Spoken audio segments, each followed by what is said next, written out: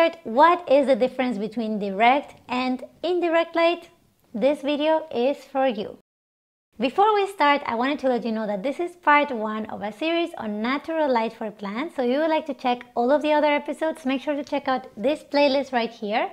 But now let's get to the video. I can tell you I have learned so much about natural light with Darryl Cheng from the Houseplant Journal. If you would like to check out his website, I'm gonna leave it in the description below.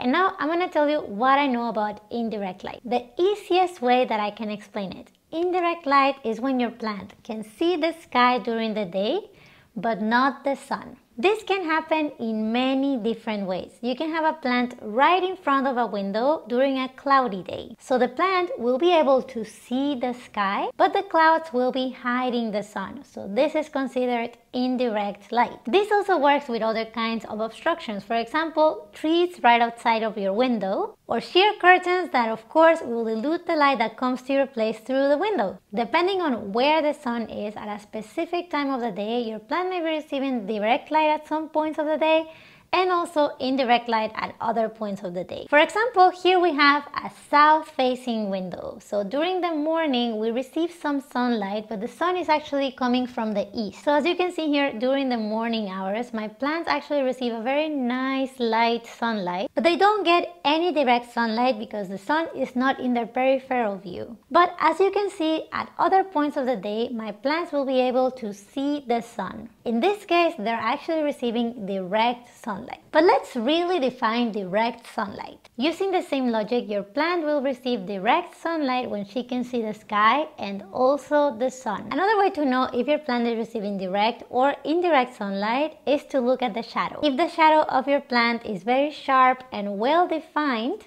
she is receiving direct sunlight. If during the day your plant has a more fuzzy shadow or doesn't have any shadow at all, she is receiving indirect sunlight. Now, a very important piece of information that changed my life with plants is this. The more sky your plant can see from the place that it's standing, the better it will grow and thrive. So you want to place your plants where they have a bigger view of the sky. When providing a view of the sky for our plants, we want to make sure that we understand how much of direct sunlight they can actually take. This will differ depending on the plant. Some plants are okay with 5 hours of direct sunlight, whereas others will only tolerate 1 or 2 hours. So for example, if you place a plant right in front of a window, you want to measure how many hours of direct sunlight she will get there and compare it to her tolerance of direct sunlight. If she receives less hours of direct sunlight than the tolerance she has,